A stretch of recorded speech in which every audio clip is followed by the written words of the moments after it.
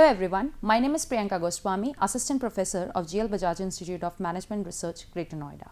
Today we are going to discuss lecture number 11 and topic is organizing and, and staffing. In the previous lecture we have discussed what is organizing, what are the uh, what are the mm, uh, importance of organizing and after that we have also uh, studied that what types of organization like line organization and line and staff organization and this uh, slide on this ppt we are going to discuss organization structure decentralization of authority or we can say the departmentation Today we are going to cover these topics. Number one is introduction of organization structure, types of organization structure and decentralization of authority. Let's start with the organization structure introduction. An organization's organizational structure is the group of rules, roles, relationships and responsibility that out outline how your company's activities are directed to meet its goal. Organization structure is kind of is a is a type of framework or is a type of framework which is based on the rules, roles, relationship and the responsibility which outline in the organization and on the basis of that when organization make a structure or the hierarchical framework that is called organization structure. That organization structure basically identifies that what are the formal relationship among the people who is the supervisor who is the subordinate who is who is the one who lead whole organization. So this kind of uh, this kind of information we can basically get from this organization structure.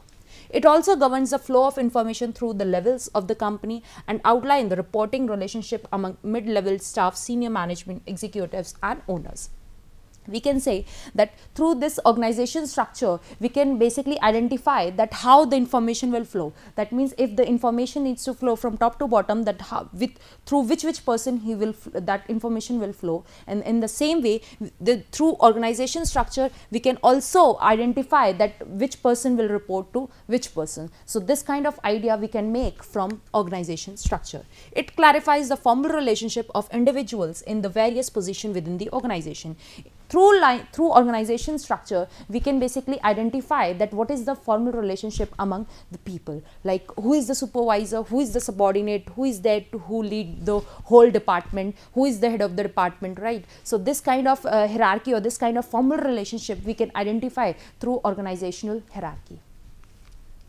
why do we need an organization structure? That means what is the importance? What is the importance of making organization structure or the hierarchy of the whole organization? It clarifies the responsibility of the members. Yes through organization structure or by seeing what is the, uh, the by seeing organization structure uh, the one can uh, when identify that one, the one can identify that who is uh, I mean for which responsibility who is responsible right? So it basically clarifies the responsibility to the members. It frees the manager and the workers to concentrate on their respective roles and responsibility.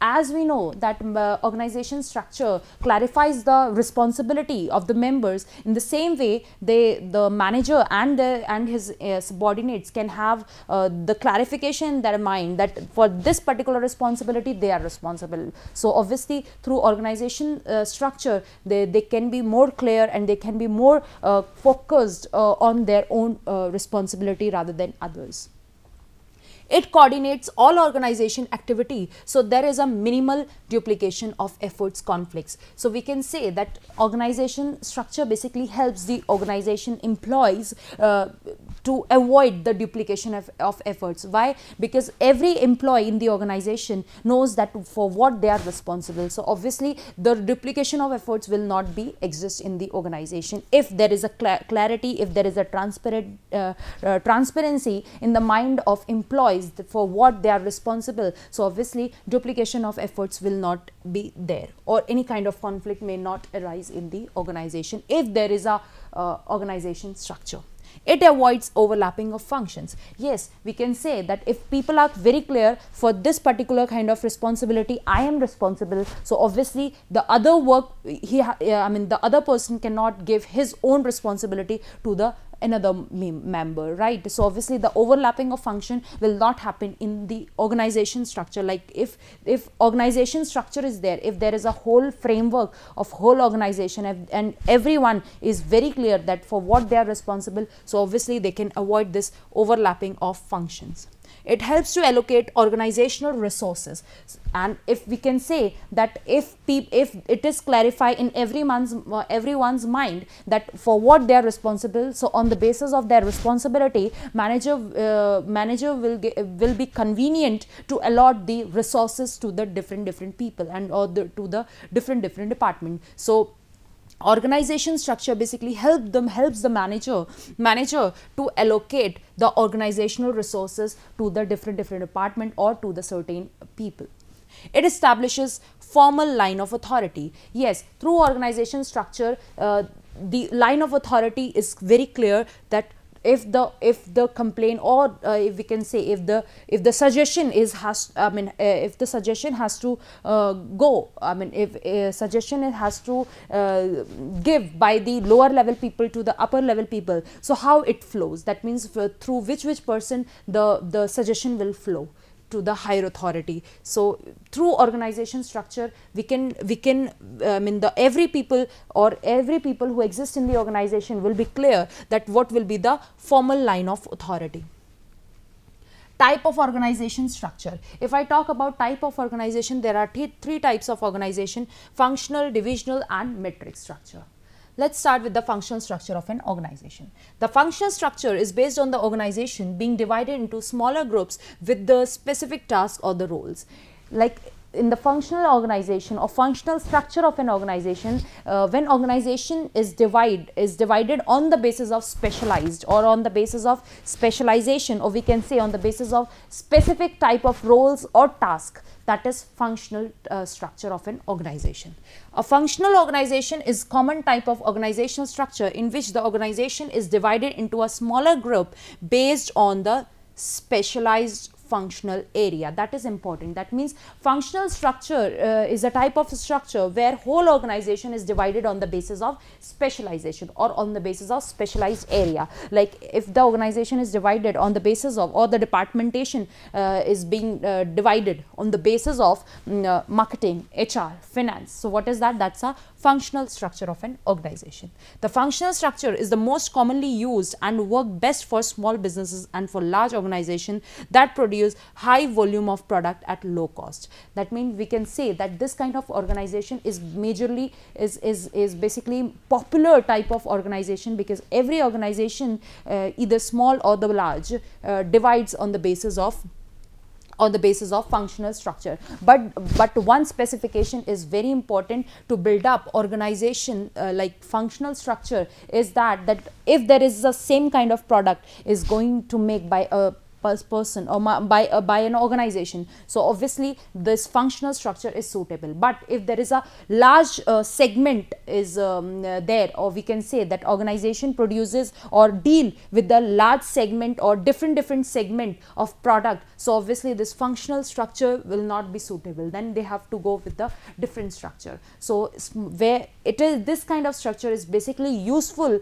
uh, for the organization who is uh, smaller in size or we can say if they are large in size so they have to produce um, they have to produce uh, one or two variant of products uh, variant of products with the large scale. So there this kind of functional structure will be uh, more suitable and if I talk about the diagram so this kind of structure will be made this functional structure in functional structure. Ceo the, here you can see that departmentation is uh, or departments are divided uh, on the basis of specialized area like marketing sales services. So these are the different areas divisional structure of an organization. Divisional structure of an organization is the organization where whole organization is divided on the basis of product or on the basis of uh, we can say uh, geographical areas. So if organization uh, divides or if there is a departments on the basis of on the basis of product or on the basis of geographical area.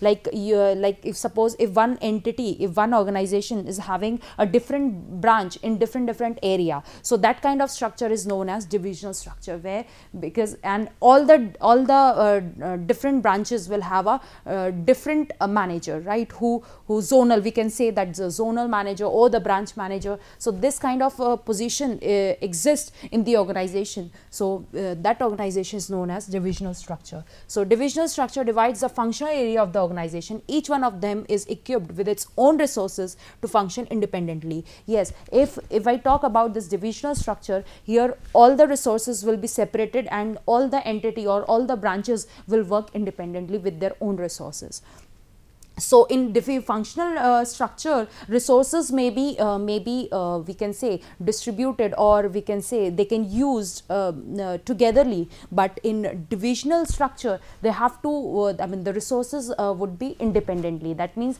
there is no there is no we can say that they cannot use resources togetherly. Why? Because whole organization is divided on the basis of geographical area and they are they are they are not physically present in, in one location Typically divisions can be based on the geographical basis or the product or the service basis. Like if a whole organization is divided on the basis of geographical area or product or services basis, so we can call it divisional structure of an organization. This organization structure is typical for large companies that operate in different geographic areas or have separate smaller organizations to cover different types of product or market areas.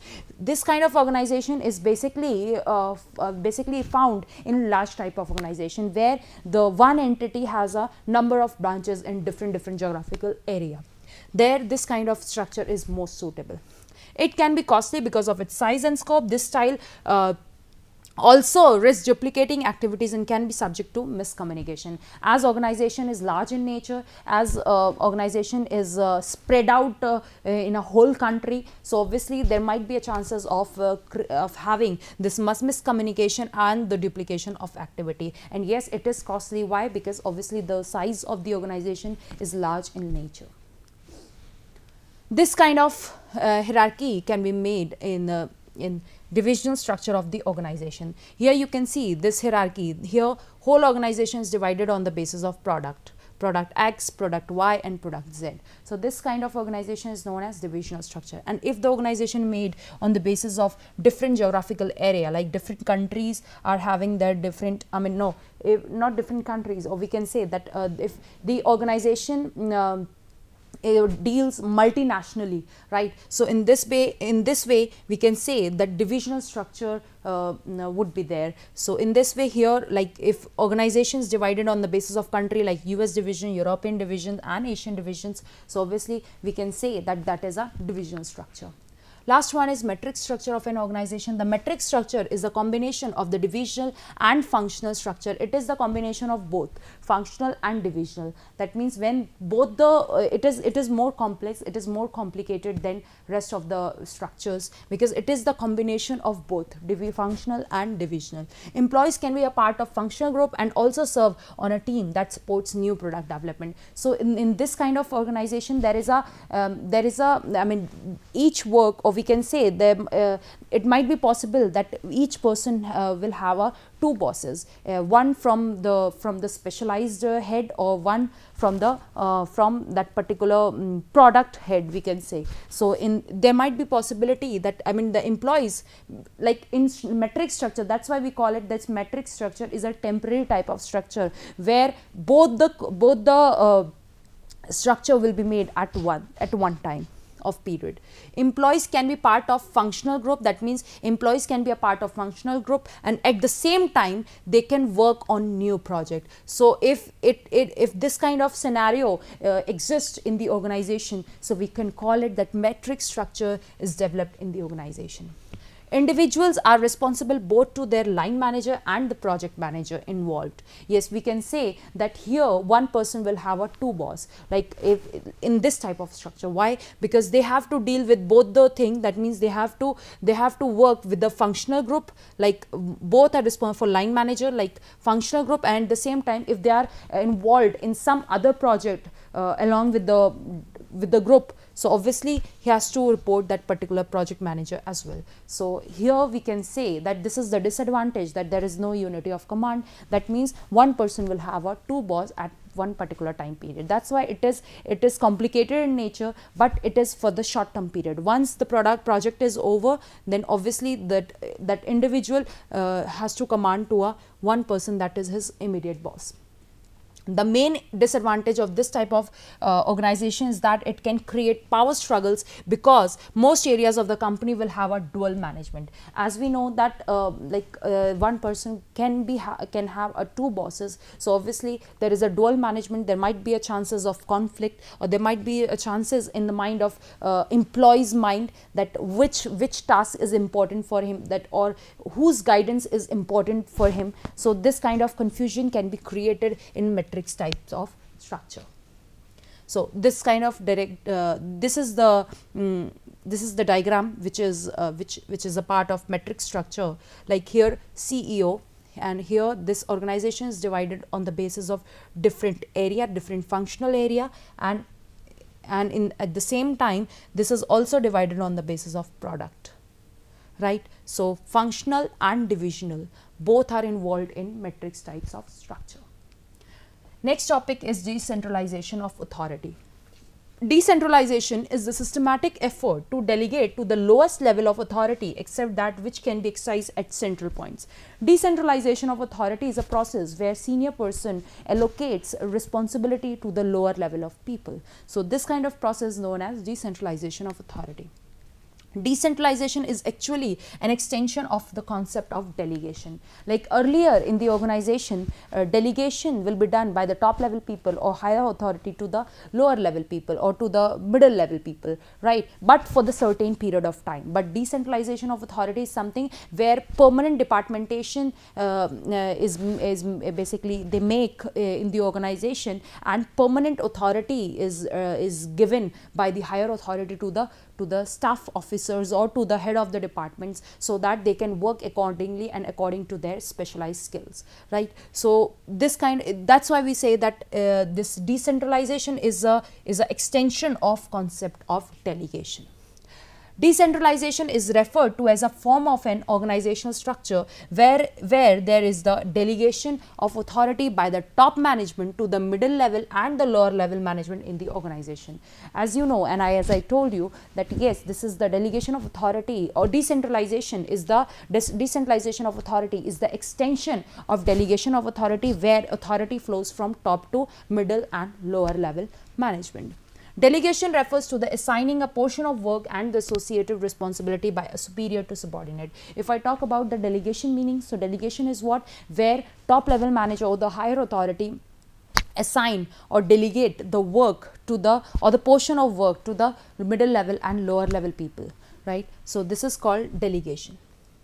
If I talk about that why decentralization is important in the organization, like as we know, as, as we know that organization earlier organization was based on the basis of centralization, right? But nowadays as, um, as competition uh, is there in the market, so obviously we need specialized people, we need and, and workload is, uh, is, is getting increased. So on the basis of that, on the basis of uh, current scenario, by seeing this current scenario, this decentralization of authority is very important in today's world. So that, uh, so that uh, responsibility or the portion of work will be divided or allocated to the different departments and different departments or specialized people will done their work efficiently and effectively. If I talk about decentralization, why decentralization is important? Decentralization is important for rapid decision making. As we have, as we know that uh, organization is divided on the basis of different specialized area or we can say that departmentation um, uh, is, is made in the organization, right? So, we can say that if there is a people, that means if, if uh, whole work is divided and allotted to the different different people. So obviously the decision making will be done rapidly by the people. Why? Because division of work is there. Because people because whole work is divided and uh, allocated to the different different people. So obviously decision making would be fast. Why? Because there is no single person who is responsible for everything. Now the responsibility and the work is divided into the uh, certain people. So yes so we can say that decision making would be prompt in in decentralization of authority. Next one is administrative development. Yes if i talk about uh, like um, uh, as we know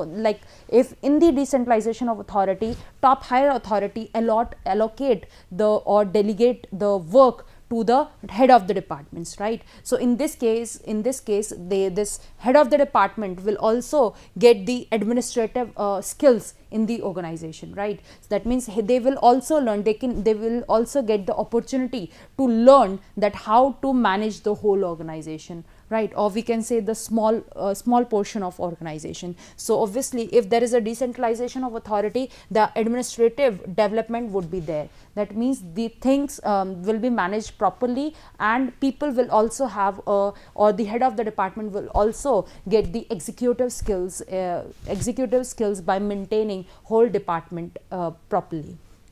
Development of executive skills. Like here we can say that administrative development means that all the things will be manageable or all the things will manage easily. Why? Because there is a decentralization. Why? Because there is a division of work. There is no there is no one single person who is responsible for everything. There is a mm, certain people or there is a different departments who are responsible for their own work right? So obviously administration will be effective in decentralization. And once you allot the authority or the responsibility to the head of the departments or to the staff officer staff officer so obviously we can say that we can say that we can say that there is a we can say that the the head of the officers will get the uh, will uh, will have a better executive skills. Why? Because they will get the opportunity to to manage the whole department as their own skills and as their own wishes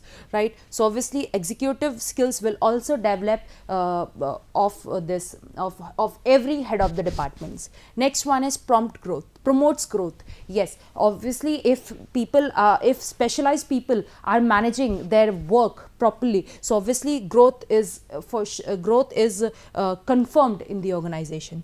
Next one is higher control. Like higher control in what sense? Why? Because there is a direct communication between uh, head of the department and their subordinates. Like and that means like head of the department or the staff officer directly communicate and interact with their group members. So obviously there would be a higher control advantages of decentralization. If i talk about advantages number one is reduces the burden of, of uh, top, top executives yes because there is uh, in decentralization authorities and responsibilities are divided into the certain department. So obviously the burden will be reduced uh, from top executives. Next is facilitate diversification. Yes we can say that if uh, if if uh, if the work is divided properly uh, to the certain uh, to the certain departments so obviously they can think of some diversification they can think of some innovation. So obviously if decentralization is there so they can diversify their uh, uh, their organization in a better way Next one is executive development. Yes, if authority and responsibility is uh, uh, putting on the head of departments or uh, on the on the head of staff officers, so obviously the executives will be developed uh, because they will get the scope or the opportunity to to manage the whole department individually it promotes motivation. Yes if if the staff officers or the middle level people will get the opportunity to manage their own department on the basis i mean uh, by their own wishes by their own wish so obviously automatically the encouragement will be high uh, in them next one is better control and supervision. And yes they have a opportunity to interact with their team members directly. So obviously the control would be better and the supervision would be better. If i talk about disadvantage there are two disadvantage of uh, decentralization. Number one is uniform policy is not followed. As department as uh, work is divided into the departments so different departments may have their own policies. So obviously the uniformity may be uh, compromised compromised uh, through this decentralization of authority. Next one is problem in coordination. As every department will have their own rules, the specific rules. So obviously the coordination problem can be arised in decentralization. Why? Because because every department uh, will have their own priority. So uh, there might be possibility that they in this, in certain point of time they may not agree with each other's decision. So obviously the coordination uh, problem in coordination can be possible in decentralization. So this is the lecture which uh, which i've uh, explained you uh, today lecture today. So like we can revise one more time that what are the topics we have covered in today's lecture like start with the types of organization structure. So, we have uh, type organization structure we have read like what is organization structure, organization structure is what? It is the it is the framework of whole organization which clarifies the roles the responsibilities the authorities the flow of information in the organization right? So organization structure is what? It is the hierarchy. It is the hierarchical framework of organization if I talk about why organization is important because it clarifies the authority and responsibility in the mind of uh, employees so that so the so the transparency will get uh, uh, will uh, will be created in the organization and it also avoids the overlapping and duplication of efforts in the organization. So, these are the importance of organization structure which we have discussed in today's class. After that we have discussed this uh, type of organization structure. Type of organization is divided into three parts functional, divisional and matrix right. If I talk about functional structure that means where whole organization is divided on the basis of specialized area or specialized uh, specialized area or we can say specialization right? Like marketing hr finance production. So if organization is divided on the basis of hr finance marketing so what is that? That's a that's a uh, functional structure that means similar type of activity will be done at one particular department next one is divisional structure divisional structure means where whole organization is divided on the basis of geographical area or product or services. That means if suppose if uh, uh, like uh, if I talk about suppose one organization and if if uh, suppose there he, he the particular organization is dealing is deal with the is dealing with the different segments or different type of product and th that particular product he sell he uh, his uh, th that organization uh, sell organization sell in one particular branch or in one particular geographical area. So that whole organization uh, structure will be called as divisional structure so this is the diagram which i have shown you before also. Next one is matrix. Matrix is a complex type of structure. It is a temporary type of structure where uh, there might be a chances where it is the combination of both functional and divisional right? So there might be a chances of um, of having this matrix structure of an organization at one particular time period right? It might it, it is basically done when there is a new product or there when there is a uh, new project uh, uh, is created for the organization where both divisional people and the uh, functional people has to work combinedly and where their employees will have a two bosses at one particular time of period right? So matrix structure so that's why we call it that it is temporary. Why we call it temporary? Because this kind of structure is made till the project has not finishes. One once the project is finishes so obviously the matrix structure will be uh, divided or will be uh, matrix structure will be um, uh, converted into the functional and divisional. This is the diagram of this matrix if I talk about this decentralization of authority, yes, we have discussed this decentralization of authority where whole the organization divides on the uh, into the departments and where the whole work is allotted allocated to the different departments or to the certain group of people. So that process is known as what? Decentralization of authority. Like we have also discussed the importance of decentralization that why decentralization important in today's world? So that specialization would be exist in the organization better prompt decision making would be there higher control uh, would be there or we can say that growth of the organization will also promote in the organization. So this kind of importance is there. That's why decentralization is important in today's world for the organization. Advantage also we have discussed disadvantage also we have discussed trust.